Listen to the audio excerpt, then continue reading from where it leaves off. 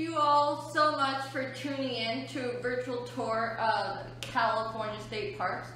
My name is Ashley and I'm an interpreter here down at the beautiful Seacliff State Beach. The sun is shining, there's a nice breeze, it's a beautiful day to be down at the beach. And also it's a very special day because it's the 50th anniversary of Earth Day. So happy Earth Day to all of you. Thanks for tuning in. Also, tune in to the California State Parks Facebook page.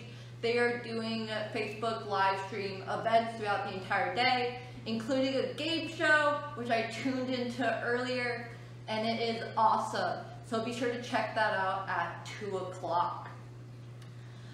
Also, we are on Facebook Live, so feel free to leave any questions or comments below the video, uh, give some likes and thumbs up, uh, and feel free to share this video. We have Paul moderating, so he'll be answering your questions, um, and then I'll be answering them as well as I see them pop up. So, this program is going to be geared towards students in third to fifth grade, um, but anybody else who's tuning in, thanks a lot, and let's go ahead and get started. So, what are we going to be talking about today? There are many things here at Seacliff that make this place very special. We have our famous SS Palo Alto, our concrete ship, we are located within the Monterey Bay that is filled with life. Uh, we have harbor seals that come by in the morning, play in the waves, uh, and I bet they're coming by to say hi to us. And we also have something that you probably won't notice unless you look very closely. And that is these fossils. And these fossils are very special and they are about 5 million years old. So, before we talk more about the fossils, I want to read you a little story, a little excerpt from a story. And the story that I'm going to read a part of is called Dragon in the Rocks by Marie Day. And it's about a paleontologist do you all know what a paleontologist is? A paleontologist is a scientist who studies fossils. And fossils can be either bones or teeth or shells. And so this story is about a paleontologist by the name of Mary Anning. And so I'm going to read you a little part of that story. All right. Mary grew up in a small house with her mother and father, her brother Joseph, and her dog Tray. Early each morning, Mary helped her mother make bread while Joseph helped his father saw wood in his workshop. The, the little house smelled of fresh bread and new cut wood and fragrant, uh, fragrant flowers for Mary's mother always kept a bouquet on the table.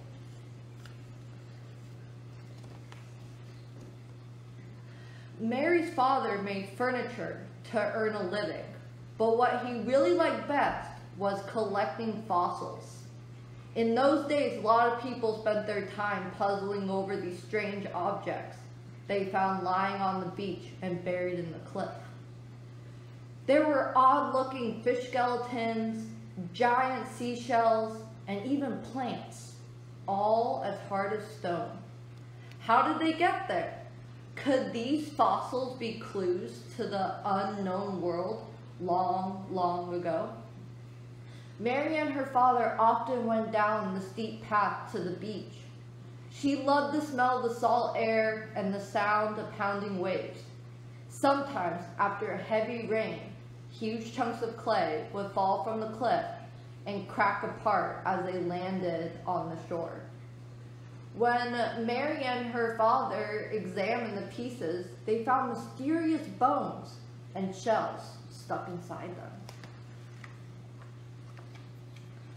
Mary learned from her father how to chip away the rock hard clay with a chisel and split it with a special little hammer.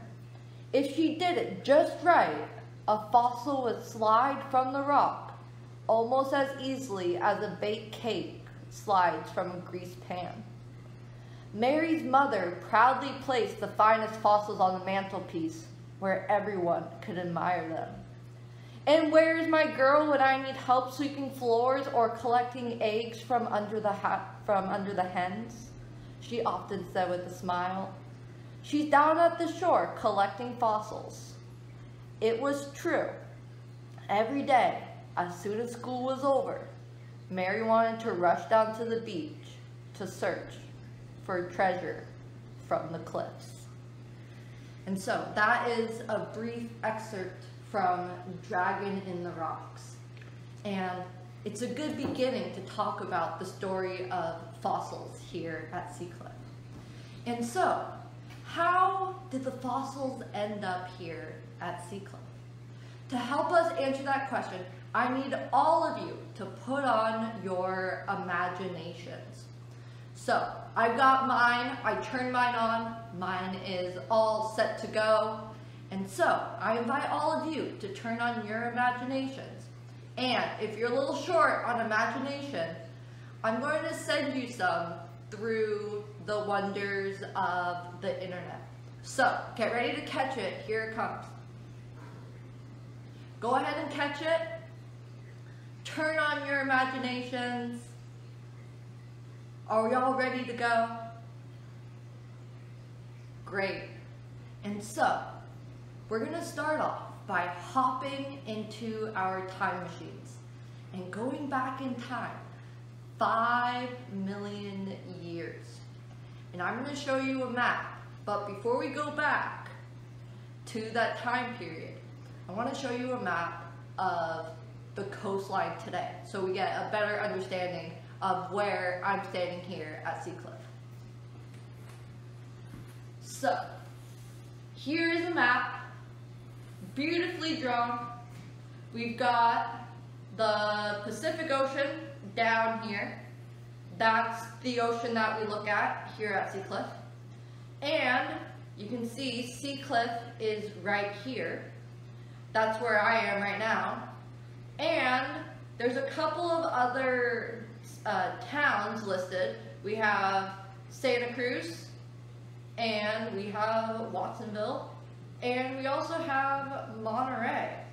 And this whole body of water right here, this is the Monterey Bay. We also have a couple of other cities listed on here. We have Fresno and Bakersfield. And you might be wondering, how come those uh, cities are listed there? They're nowhere near the ocean. We'll answer that in just a minute. And the last thing I want to note about this map is we have two fault lines listed on here. And we have the San Gregorio Fault, which is this lower fault. And then we have the San Andreas Fault, probably one of the most famous fault lines in California. And so, I want you all, before I give you the answer, I want you all to think about what you think this area looked like 5 million years ago. And if you're sitting next to somebody, go ahead and tell that person sitting next to you what you think the area looked like. All right. I'm going to show you. Whoa! There's a lot of different things going on on this map of the Monterey Bay 5 million years ago. For starters, there's an island right in the middle of the bay. And if we look out onto the bay today, we don't see that island anymore. So, what do you think happened to that island? Think about that for the rest of this program and I'll answer that at the end. Also, you'll notice that Monterey, Watsonville, Seacliff, and Santa Cruz, they're all underwater because of this inland sea that's here. And that inland sea is called the Temblor Sea. Temblor like earthquakes or a, a, a tremor.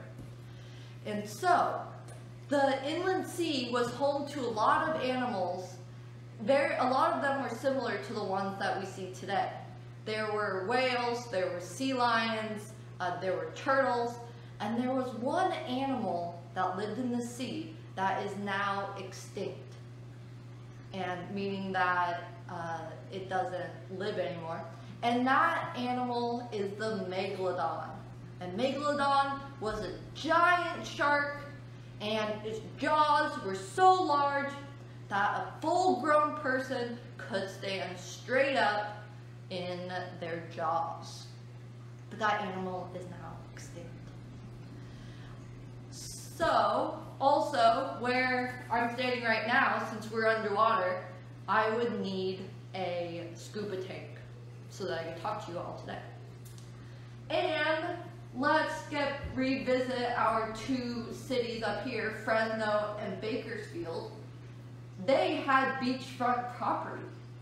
And so, if you have ever been to either one of those places, you probably noticed how hot and dry it is.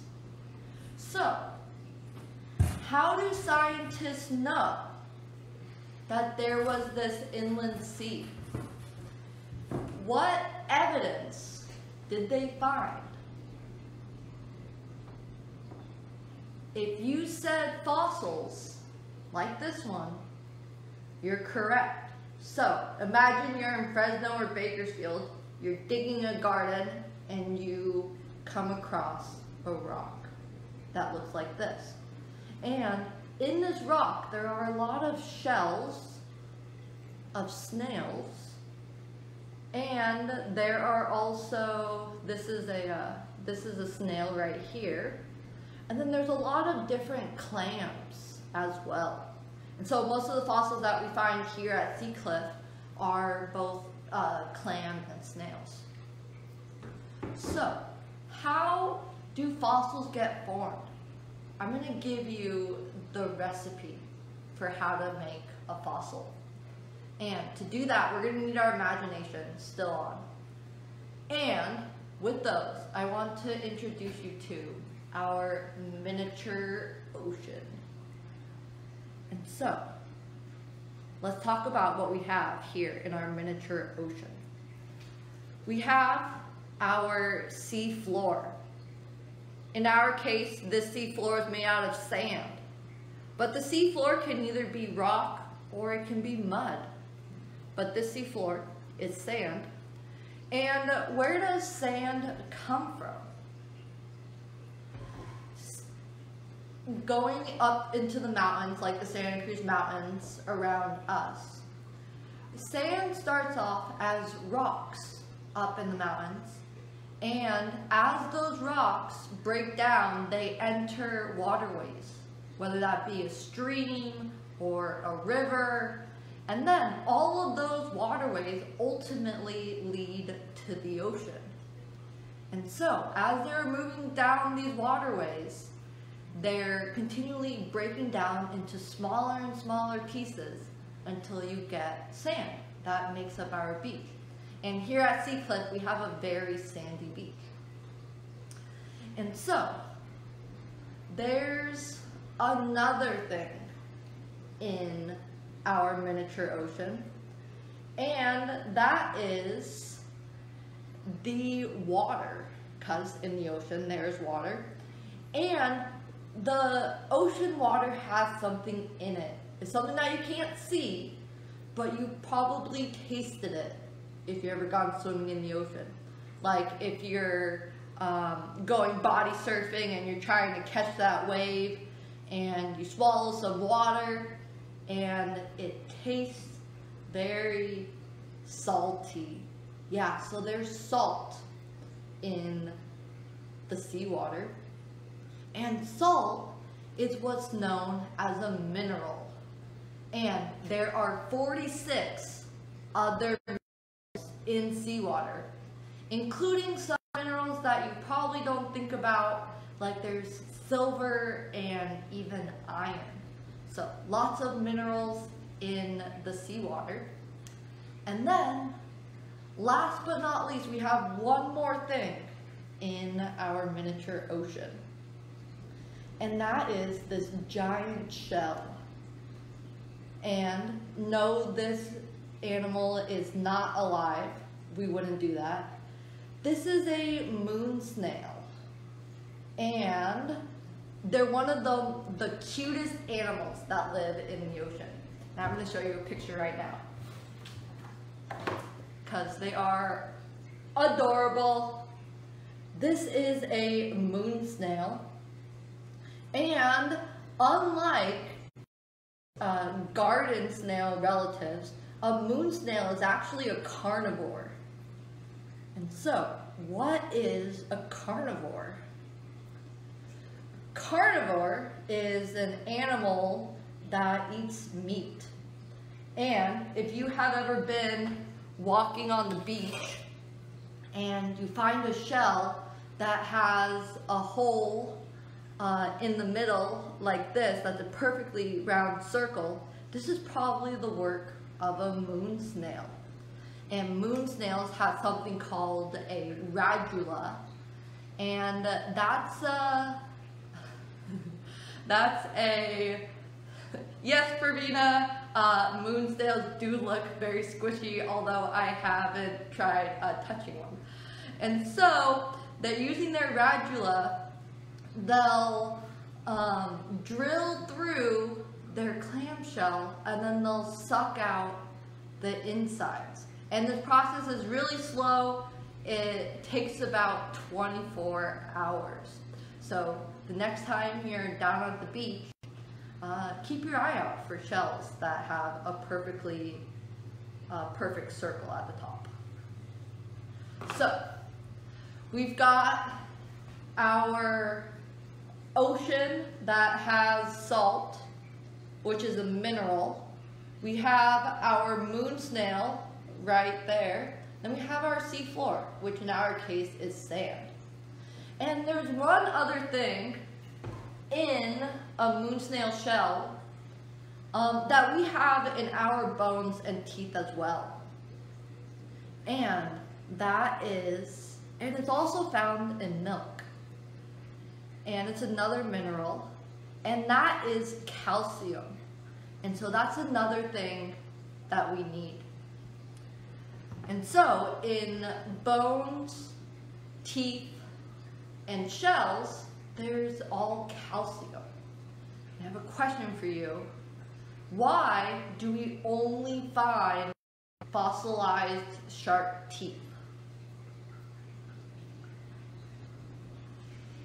If you said you only find fossilized shark teeth because that's the only bones that sharks have, you're right. The rest of their bodies are made out of cartilage, which makes up your ears and the end of your nose. And so, we've got all of the first three things in the recipe to make a fossil, and we need two other things. The first thing we need is some sort of catastrophic event. Now this could be an underwater landslide or an earthquake and a good example of that is the landslide that happened along the Big Sur coast in 2017. So you can see all of the sand or all the dirt that came down from the mountain. And so you can only imagine how many animals got buried during that landslide. And if we were to visit that area five million years from now, would we find fossils? Who knows? Maybe we'll figure out a way to time travel and go check it out. And the last thing, there's actually two more things. one other thing we need is pressure, and that pressure is achieved through those landslide, And you can feel that pressure by squeezing your hands together like this, and you can make all that pressure. And so, we're gonna make a little, uh, our little, uh, our own fossil right now. And so, I'm gonna fill up this tub with some sand to make our seafloor. And then we need our animal, which is gonna be a moon snail. And so I'm gonna plop uh, that moon snail right down in the middle. And then we need our catastrophic event to happen. And we also need a lot of time. So how about we stay online for five million years and wait for this fossil to form. We're, that's a long time to wait. So I'm going to speed up that process and we're going to continue using our imaginations. And so we have, say, in 10 years from now, we have a landslide and it begins to bury our snail.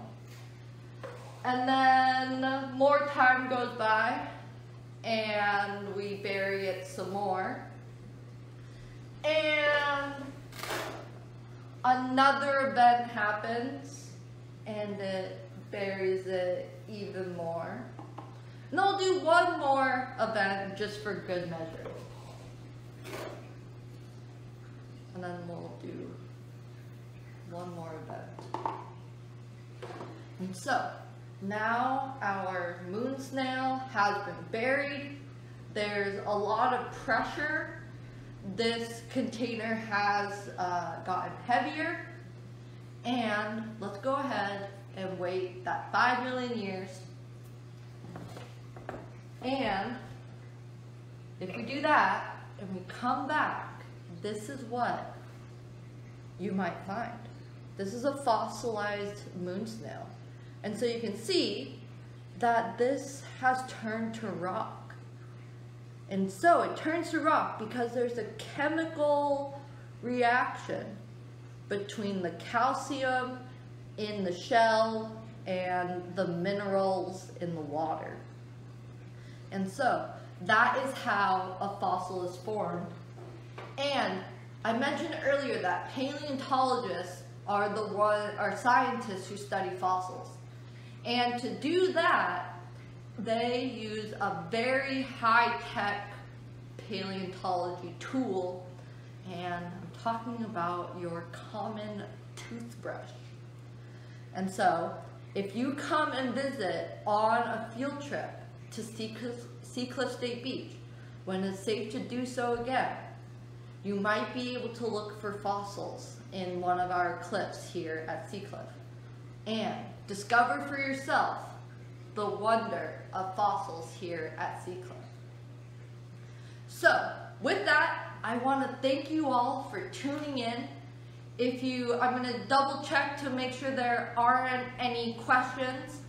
Um, I want to wish you all a happy Earth Day. Um, continue staying safe at home, uh, tuning into these live streams. Be sure to check out uh, California State Park's Facebook page uh, for Earth Day live stream events. There's a game show starting at 2 o'clock. Uh, highly recommend it. It's very entertaining. And we'll be live again here at Seacliff on Friday. This video will be uploaded to the Seacliff State Beach YouTube page.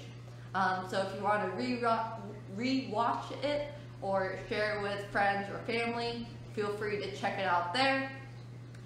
And um, I want to thank Paul for moderating this live stream event. And since it's a beautiful day here at Sea Cliff, I'm going to flip the camera around and let you uh, take up, uh, enjoy some of the view. So thanks for tuning in and hope to see you next time that we're live. Bye.